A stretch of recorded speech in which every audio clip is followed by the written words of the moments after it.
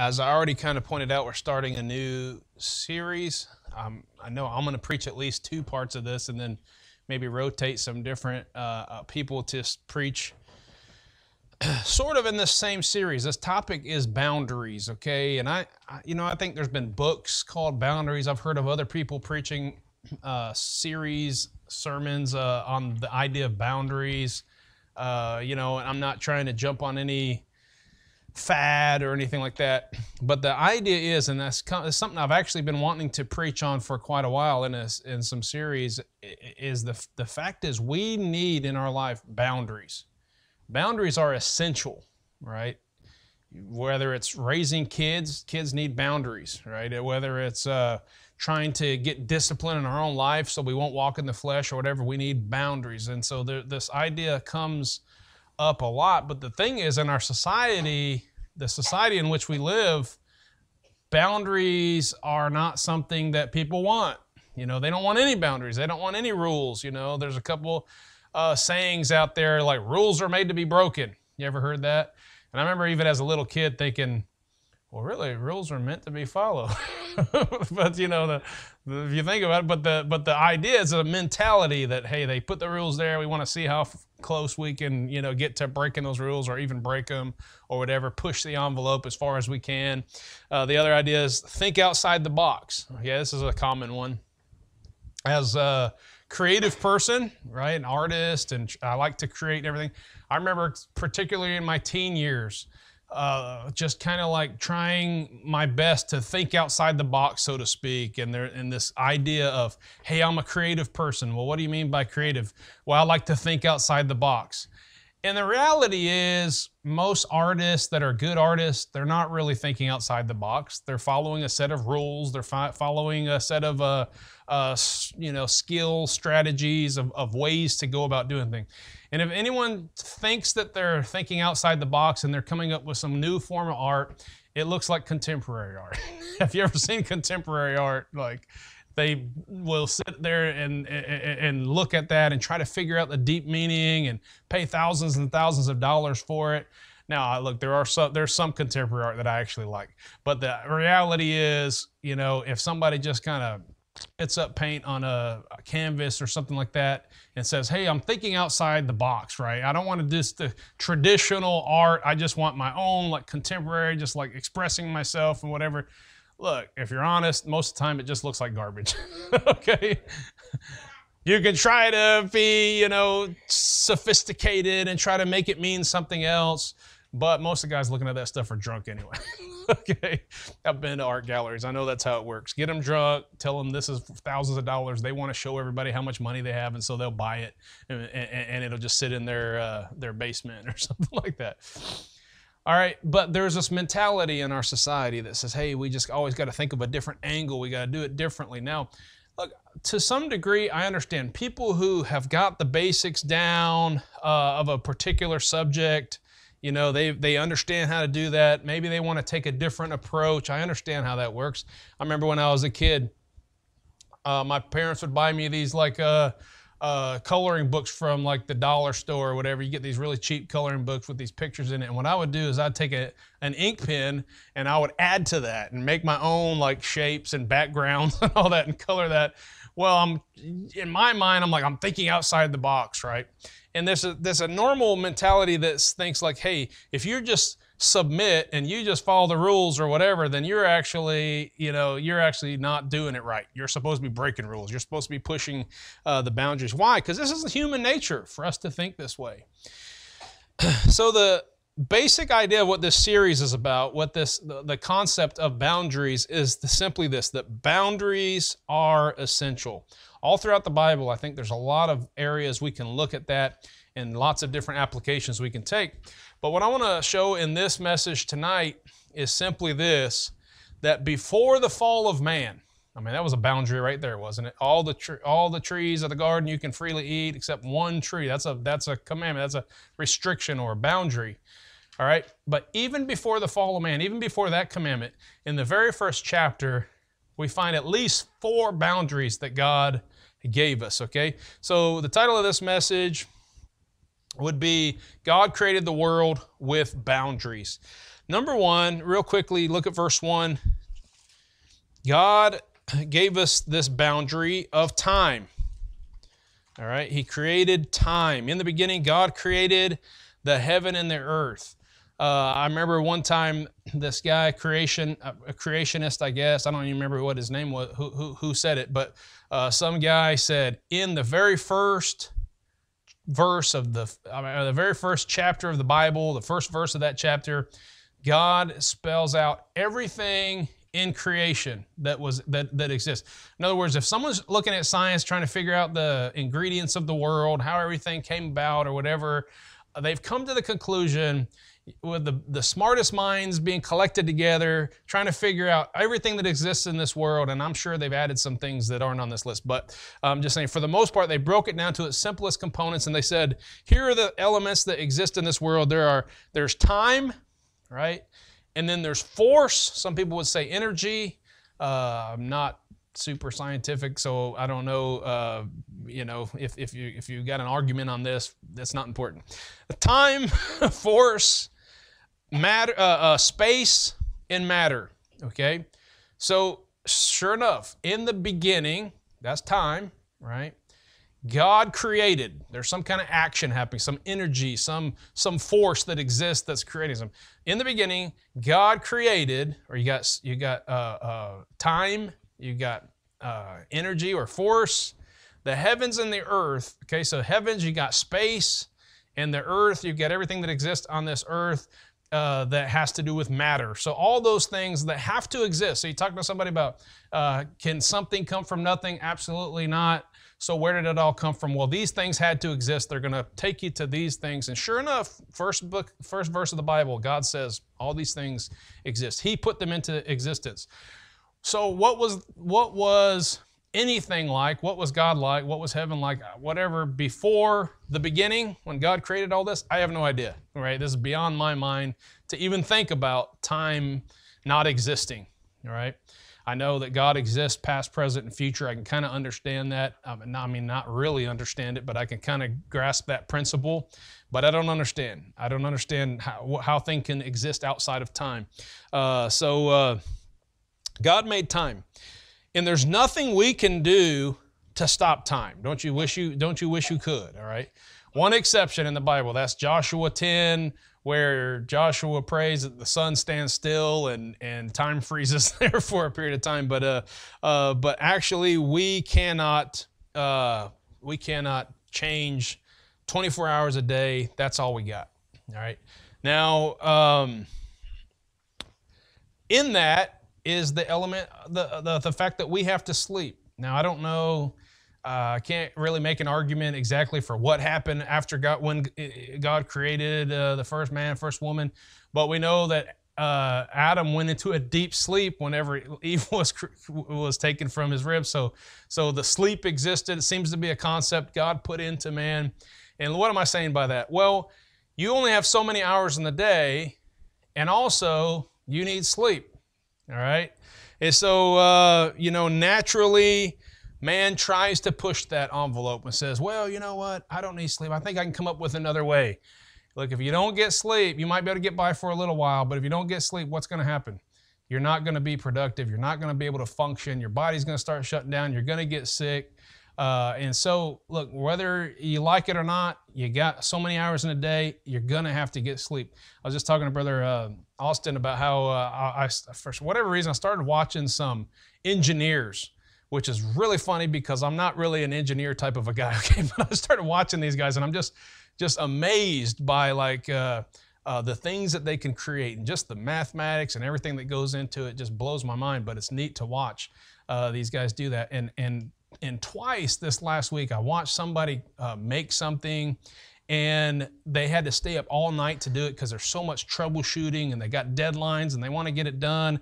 And so they stay up uh, you know really late and about like four o'clock in the morning they're just like not able to function. And so finally they're like you know what? I'm just going to go and get some sleep. And then they come back the next day and they find all these mistakes that they made the night before because they tried to push it and stay awake and make their make their mind uh, go now look sometimes look at proverbs chapter 6 sometimes you are going to have to make the most out of 24 hours and you're going to have to stay awake. I understand that. Look at uh, Proverbs chapter 6, verse 1. My son, if thou be sure, uh, surety for thy friend, if thou hast stricken thy hand with a stranger, thou art snared with the words of thy mouth, thou art taken with the words of thy mouth. Do this now, my son, and deliver thyself when thou art come into the hand of thy friend. Go humble thyself and make sure thy friend. Give not sleep to thine eyes, nor slumber to thy eyelids. Deliver thyself as a roe from the hand of the hunter and as a bird from the hand of the fowler. So there's this idea like, you know, you, there, you're involved in this debt or you're involved in something that has, you know, that you've got gotten into and there's a way to get yourself out of that Give diligence until that's done. We don't want to be like the, the lazy man, the slum, slumbering man who you know doesn't pay attention to those kinds of things. There's a time where he says, "Hey, I'm just going to keep on working. I'm going to keep on putting effort into it until this thing's done." Uh, I know I personally.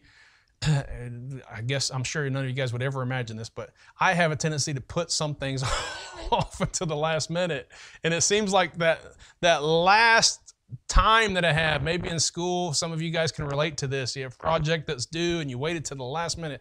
But that time that goes into that last uh, uh, few days or maybe even a few hours of putting into that, man, they're super productive, aren't they? Because you're just forcing yourself to get things done. But sometimes you have got to just keep pushing, keep pushing because you got a deadline. But at the end of the day, you have got to get rest. Okay? So naturally, what happens? People say, well, you know what? I don't need sleep. And I joke like that sometimes, and I'm like, you know what? I'll sleep in heaven, right? Or, or something like that. I don't need rest. I can just keep on going. And some people, uh, you know, have said that about me because they'll know, like, I'll get up super early because I'll have certain things to do, or I'll stay up super late or whatever. But look, my body knows as much how much it can handle. And there's some days I might have a day where I worked like 24 hours or whatever, just kept working, working, working. Well, guess what? Next day, maybe day and a half, I'm not doing a whole lot because my body's got to recuperate or I fall asleep or whatever. But some people think they can just cheat nature and say like I'm just going to fill myself up with caffeine and just keep on drinking caffeine, sugar, whatever it takes. I'm going to just keep on uh, uh, going or, or take these substances or something like that. Look, it's all in the end going to hurt you. it's all going to, uh, you're going to get to this point where your body's not functioning because God made your body only be able to handle so much. And sometimes we need rest, okay? But God made time. We can't cheat time. It's a boundary that He put upon us that we, we wish sometimes that we could. We come up with technology and time savers and ways to, to, to make more time. Uh, but it, obviously, we, we, I don't know about you, but have you noticed that technology, uh, it seems, to, I mean, obviously you can get a lot done in a smaller amount of time with technology. For instance, you know, think about, I think about this a lot when I'm watching my wife and my daughter cook and I'm thinking like, man, they spent so many hours putting into this meal, making this meal, and I'm thinking, what did they do back in the pioneer days or back in the, the Bible days where they didn't have the technology uh, that we have now? And I'm thinking it was like a whole day project. The, the night before, they're already preparing stuff for like the next meals for the next day or whatever. It's just this, this, this long uh, process. But you notice it seems like modern technology hasn't really given us any more like time. we're still bound by time. We still, you're always running late. Always, you know, you can never get ahead. All right.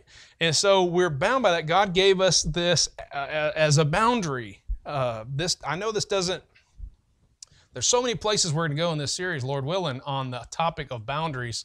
This might seem a little strange to start here, but but I just found it so interesting. In the very first book of the Bible, we see God created the world with boundaries, and one thing that He created was time. Okay. Secondly, he created, as you read through that chapter, you notice that he created uh, kinds of plants and animals. Right? Kinds of plants and animals. I'm not going to spend a whole lot on this topic because it's so obvious, I think, to us, and we believe the Bible. We we deny uh, evolution, but there's a lot of people uh, out there that teach that you know the, we have just evolved, and and one uh, uh, kind of, of creature turned into another creature over millions, millions of years of evolution, all that kind of stuff. And there's people that are trying to so hard to prove that. And they're messing around with like cloning uh, different creatures and stuff. Now, now I really think if they could clone uh, a dinosaur, I, I, it'd be pretty cool to see a dinosaur. Okay, but but other than that, man, all this messing around with clones. I saw just recently an article. Uh, I didn't read the whole thing, but I saw where they have successfully cloned animals that were extinct. Now, how do they do that? Well, it always comes down to they didn't really clone it, but they took like some of the DNA from a, a, dead animal that was frozen or something like that, and then they injected it into a living animal so they produced some kind of half breed or something like. I don't know what they all did. Uh, it doesn't really uh, matter in the long run, but they're tampering with that. So look, the world wants to tamper with cloning and and crossbreeding. Uh, I'm all right to some extent with farm, uh, you know, uh, people, uh, ranchers, and, and and all. They they have successfully crossbred some some creatures. you know, what is it? Uh, let, let, let, me. They've they've done uh, zebras and donkeys, right? What's that called? A zonkey. It is. Uh, they've they've crossed tigers and lions. What's it called? Tyon or a liger, right? What would you call a human uh, uh, crossbred with a chimpanzee? A humanzee or a or a, chimp, a, a, a chimposapien or something. it's not going to happen. It's not going to happen, okay? When they're cloning and or, or messing with uh, breeding animals, okay, and you can go from you know these two animals. Hey, look, we successfully created this other uh, species of animal or whatever, which it usually, which is which is 100% of the time like sterile and can't produce uh, anything else beyond that. But you know what? The thing is, these two things had a, a, a, had a relationship that was super close, and that's why they were able to even do that. Okay, and here's what I mean by that. So different types of dogs, yeah, they can they can crossbreed those, and so you can get a wolf. You know, maybe it would crossbreed with some other type of a dog, and they would and it would make a, a certain type of a dog. That's why we have all these different types of dogs, Chihuahua to a Great Dane. Hey, they weren't all on the ark, okay? You, everybody understands that, don't they? all right. These are different things that over time they've been able to crossbreed, and they've been, but they're all dogs, right? Uh, they did the same thing with uh, all types of different animals, horses and, and donkeys, and they've created all these different, you know, things to uh, be able to help. Most of the animals we have today, uh, you know, whether it's food that we eat or, or cattle that we use, have been tampered with in one way or another. Okay, most of the fruits and vegetables that we eat today have been tampered with uh, in one way or another. Uh, not long ago, I was talking to some guys in here about corn. You know, and corn in the Bible really throws people off, and I myself I get confused sometimes and think about corn like we think of corn. But actually, when it's talking about corn in the Bible, it's talking about the, the it's talking about wheat. All right, the corn of the of the wheat. And uh, uh, anyway, that's a whole whole other subject. But most of the stuff that we see today, yes, it's been tampered with, but it doesn't prove evolution because from the very beginning, the first chapter of the Bible, God said He's going to create this kind of animal and it's going to bring forth fruit after its kind. This kind of plant is going to bring forth fruit after its kind. Well, what's a kind? Well, I don't know. I'm not a scientist, but you know how we've created, uh, you know, what is it? Kingdom, uh, phylum, species, you know, and, and, and we got this whole list of terms. Well, this is, uh, that doesn't matter. Okay. The Bible trumps all that anyway. First book of the Bible, first chapter we see this idea that God made kinds of plants and kinds of animals. So what does the world try to do? Hey, we gotta we gotta mess with that, right? We've got to figure out how to uh, you know how to create a different kind from this kind or something like that. But it's not going to work because God made different kinds. The third thing we see, uh, this is a topic I've preached on several times. God made male and female male and female. Now somebody's going to try to throw some kind of, uh, you know, oh yeah, well what about a worm? What about this uh, this kind of creature in, in in nature? Well, God made exceptions. Okay, He made some interesting creatures out there. There's no doubt about that. But when it comes to humans and it comes to most animal life, you see there's a male and there's a female. That's how it worked. That's the way he designed it. He, he gave us a certain boundary in that way. So naturally, though, what do people want to do? We're, in our human nature, we want to break boundaries. And so all of a sudden, all the girls want to be tomboys, little bitty girls, right? Just thinking, well, I want to be like the boys. I want to uh, climb the trees. Nothing wrong with girls climbing trees. But I don't want to do this. I want to do that. And they grow up with this like proud, like, hey, I was a tomboy, right? Well, okay, you might have done some things that you, you, you know seem to kind of push the boundaries of what most girls do or something like that. But look, you have to stay within those boundaries and try and seeking to go beyond those boundaries isn't going to work. Our society today, I mean, I, I don't need to tell you guys, I'm sure, but our society today is, is like just totally insane. When it comes to gender or sexuality, you know, male versus female, just just does uh, like they try to pretend like it doesn't exist. it's like the most scientific thing. I mean, it exists. So we got this crazy idea of sports, these co-ed sports where they're thinking that, you know, girls, guys, hey, we can't we can't judge. They can, you know, compete in sports. Uh, God made boundaries. He made uh, you know, men a certain way and he made women a certain way. And look, there's a lot of variance. There's a lot of uh, uh, uh different, you know, uh, features built within our DNA that would allow us to, to you know, to, there to be a lot of variances. Go back to that poodle versus a Great Dane. That's a, there's a lot of variances, right? Look at the size and shapes of, of humans and the colors of human. You know, that all came from Adam and Eve. Red, yellow, black, white, you know, the little variants and all that kind of stuff. Uh, you know, some some women are bigger, and then there's some men that are scrawny you know, you're looking at you're thinking, hey, that woman could beat up that man. But for the most part, God made this as a boundary. You're male, you're female. First chapter of the Bible. and so, uh, you know, our society tries to break to break that and to confuse gender and all that kind of stuff, but we need to stay inside the line. In fact, I would say Christians now more than ever, just looking around what's going on this push. I heard today they were supposed to take like a first vote for the uh, gen, no, what's it called? A equality uh, Equality Act or something like that. And the representatives are supposed to vote on, on, on this, and then it's going to go receive another vote. I don't know how, how that works, but you say, what's the Equality Act? Man, the current administration is just trying to throw everything just at once. Every administration does that. Trump, when he got into the same thing, hey, let's hurry up and undo everything that the that the last administration did. Every, but they're doing it in such weird, sneaky ways, like passing this, you know, COVID, you know, our whole world is struggling so bad with COVID. We've got to we've got to pass these these relief bills, right? Give some people some relief. And everybody's like, oh, I can't wait for the next stimulus check. And we don't even realize that in that stimulus package, they hid some weird things that have nothing to do with stimulus and trying to help our, our economy. But let's let's throw uh, uh, uh, these these weird, really weird things in there, like uh, things that historically Democrats have been saying that they're going to do, raising minimum wage and all that stuff. But anyway, so they're pushing all these really strange things. Well, one of the things they're trying to do is get to where, uh, and they're getting really close, I think, with the uh, Obama administration uh, which is just this is just Obama administration part two, really.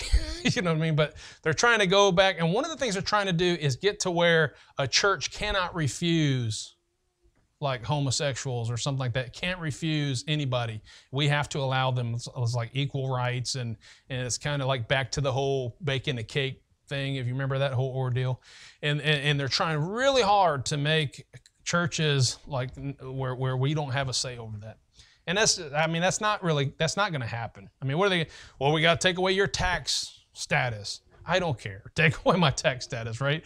Uh, God's going to be, you know, the supreme. You know, God, I must obey God rather than man. Uh, but it's really, really strange what's going on in our society and the things they're trying to push and the things that they're trying to uh, claim exist that don't exist. And now more than ever, as Christians, what we need to do is we need to say, you know what? I'm going to stay in the lines.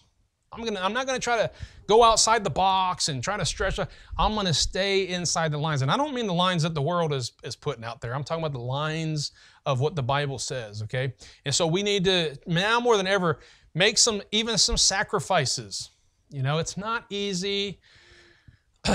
it's not easy for a, a women these days. Not as easy as it once was to make sure they've got modest skirts that fit right and they look feminine and all that. For guys to find even a pair of jeans that don't look like women's jeans or, or something like that, it's getting harder and harder. So it involves a little bit of sacrifice. But let me tell you something about sacrifice. Look at 2 Samuel 24.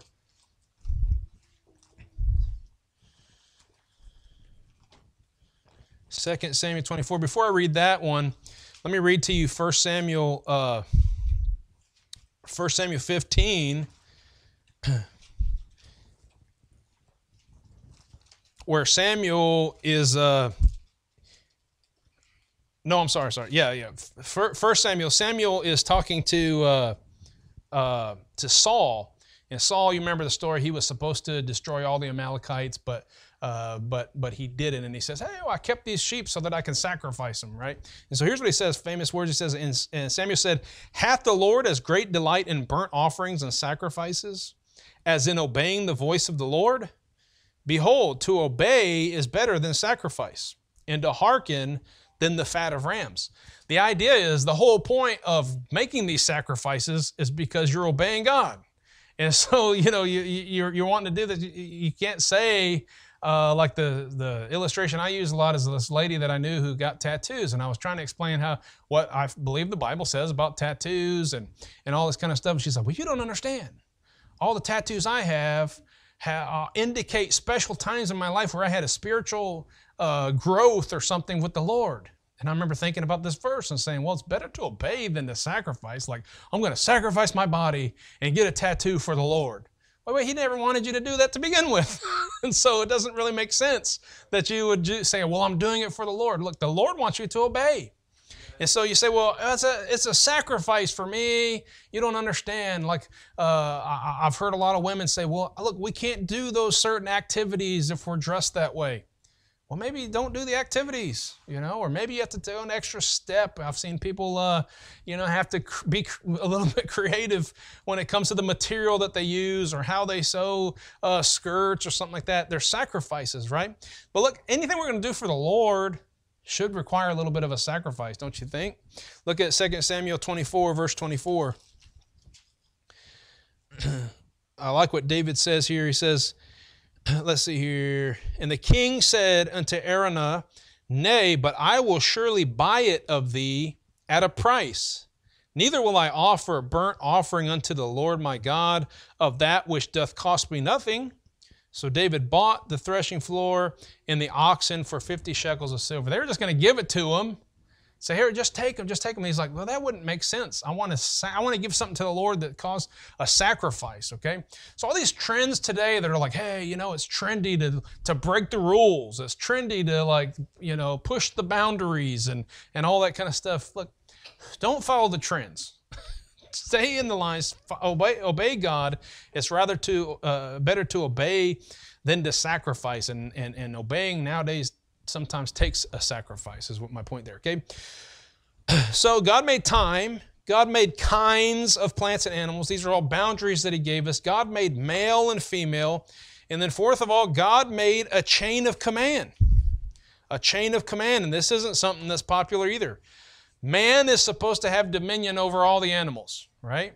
Man is supposed to, look, we've got animals, we can eat animals, we can train animals, we can get them to do our work, we can do all these kinds of things. And so, what does our world do? tries to push the, the, the, the boundaries of the chain of command. And hey, animals ha- should have rights too. And so, guy, you know, uh, if you if you're operating a, a, a dairy farm, Okay, look, I, I, take my son to the to his work where he works on a dairy farm, and there's like these signs everywhere that are put up there, like, "Hey, we make sure that we treat our animals humanely and all that." Why? Because people, people like PETA and all that come in there and they say, "Hey, you got these animals too close to each other. You didn't give enough space. You got all the," and they put all these like, there's all these groups out there just trying you know animal rights and, and and and you know in some cases people are getting so attached to their animals that almost putting like more value on their animals than people. Hey we've had some good conversations about that. Uh, people that we know that do that. But god said look these are you know you're supposed to have dominion over them you're supposed to rule over them. You're supposed to use them for, for your own purposes. Now, it would be a if, if it's a waste, if you're wasting animals or you're like, you know, harming other people's animals or or there's there's all kinds of ways where we could say, hey, people are doing this wrong, okay, in the way that we treat animals. But look, if somebody uh, you know, goes out and and shoots a shoots a dog because it's eating their trash or something like that, they haven't committed a sin. okay, if they uh, uh, and so anyway, animals uh, are there. They're they're they're, they're to be uh, ruled over. But not only that, in the very first chapter of the Bible, we see a chain of command where God made Adam. Now, in chat, we don't see it until chapter two because chapter one just says He made them male and female, created He them. When you get to chapter two, we see that God is going to tell Adam, uh, you know, hey, it's not good for him to be alone, and He's going to make a wife to be a help uh, that's meet for him and to be able to help him and all that kind of stuff. And so God makes that. In other places in the Bible, it says, "Hey, it was the man that was made first, right?" And then uh, and there's this idea, like you say, "Well, that's just not fair." That's the chain of command. That's the boundary that God gave us. And every time people try to break God's boundaries, it's not what's best for them. Okay, and so uh, this is a situation that we see in our society today. Uh, very unpopular to talk about boundaries and talk about uh, chain of command. Hey, we all want to be equal. We don't want to have to uh, have any kind of uh, anyone authority over us. Look, there's always going to be somebody who's smarter than you, somebody who's stronger than you, richer than you. Uh, you know, there always there's always going to be somebody who rules over you. That's just the way it is. And you can throw out this, oh no, this beautiful world where we're going to create this utopia of socialism and, and communism and all that stuff. Look, it's not going to work. God gave boundaries and He made sure that everybody has those who rule over them. And if you try to break that boundary, you're in for a big surprise because somebody's going to rule over you whether you whether you like it or not. Uh, but there's a there are chains of command. Look at uh, chapter uh, chapter two, verse eighteen.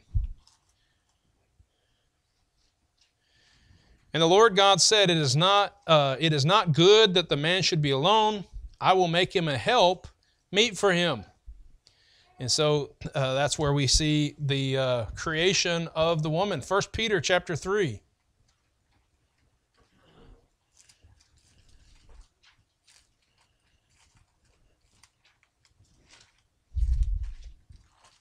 First Peter chapter 3 verse 7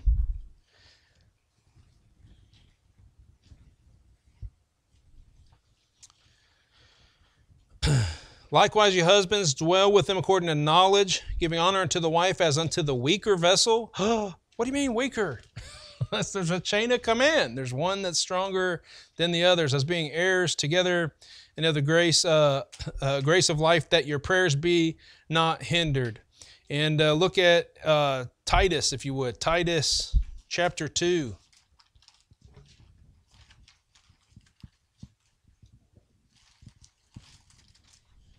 Verse 3 The aged women likewise, that they be in behavior as becometh holiness, not false accusers, not given to much wine, teachers of good things, that they may teach the young women to be sober, to love their husbands, to love their children, to be discreet, chaste, keepers at home, good, obedient unto their husbands, that the word of God may be blasphemed. You say, well, that is just ridiculous.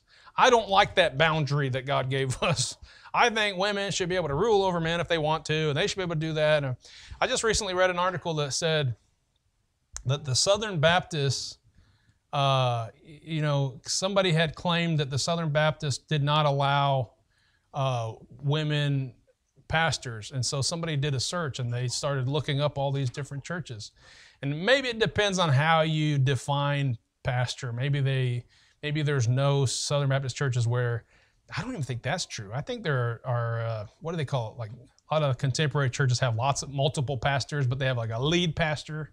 Right? I'm, I'm pretty sure even Southern Baptists. I think they even have some lead some ladies who are lead pastors. But uh, but look, so they had this big list, and you can go to each of these websites, and you can go on there, and then there's like uh, you know ladies who are over. They're like the the music pastor or the children's pastor or the uh, you know evangelism uh, pastor or something like that, and they given uh, the women all these these charges. And we've probably all been to churches like that. You know, you get in there and you're like, this church, it might have a man who's the lead pastor, but this is a woman-run church, right? Uh, not this church. I'm saying we've all been to churches. we've all been to churches where uh, where that is the case. Okay, the Bible teaches us otherwise. Okay, and and and, and it doesn't matter how hard you try to buck that and how hard you try to break the, the, the command. This is the way uh, that God made it. This is the boundary that He gave us. So we're not less, you're not less of a human because you choose to stay within your boundaries. Okay. I don't know if you remember when I was talking about the attire of a pastor, and I was just talking about people who are in roles of leadership, and they've done all these studies, you know, and the majority of the guys who uh, who are high up and they're very influential and all that respected and successful, and they started looking at the trends, and a lot of them, you know, uh, wore suit and tie and they dressed up and they looked, you know, they dressed their best, dressed for success and all that kind of stuff. And then I said, well, there are some exceptions. There are some people that tried to break the rule and they decided, hey, I'm not going to dress like like like that. I'm gonna I'm gonna stand up and I'm gonna be different. And if you look at it in churches, a lot of uh, contemporary type churches, the pastors did that and they said, you know what, I'm gonna start dressing this way. I'm gonna start wearing the shorts and the Hawaiian shirt and all that kind of stuff. And I'm gonna start like, you know, wearing the skinny jeans and the, uh, you know, all these kinds of things because I wanna be different. And, there, and in our society today, that works because people say, yeah, he's a rebel. Yeah, he's somebody that I wanna follow. He's a, no, no, no. You're not less of a human being because you decide I wanna stay within the boundaries and I want to keep the rules and I want to do, you know, God made those for a reason. It's right to try to stay within, to the best of our abilities, stay within the boundaries that God gave us. It's right and it's pleasing to God to say, hey, if God made these boundaries, I want to do the best I can and to be pleasing to Him and to submit to the boundaries that He gave. Okay, and the, I just wanted to show in this sermon as an introduction to this idea of boundaries that even before the fall of man, you know, even before he announced the, the tree in the garden and gave any command of any sort, whatever, God just created the laws of nature and, and, and the physiological uh, uh, rules and laws that exist. He created boundaries. I just thought of four of them, probably a lot more that we can think of. Uh, but these are boundaries that He gave us. There's nothing you can do about it. There's rules, there's laws, there's boundaries, and the fact is we need them.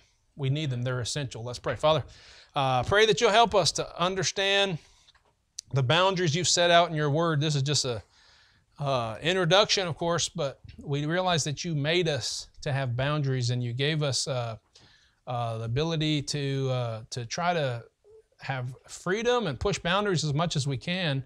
But I pray that as Christians, uh, those who choose to follow you, that you'll help us to to learn to love the boundaries and to love the uh, the, the, your law, to love your law, love your commands, uh, love the, the, the boundaries you've given us to follow. And I pray that you'll help us uh, to get better at that and to not have the rebellious heart and attitude that wants to uh, constantly break rules and laws and, and all that. Lord, help us have wisdom and know uh, what you would expect of us and, and why you've put in certain laws uh, that you've given us Lord. I and so I pray that you bless this series as we go on, and uh, maybe as some of the other guys uh, preach on this subject. I pray, Lord, that you'll bless it and you'll help us grow a little closer to you and walk in your word. In Jesus' name I pray.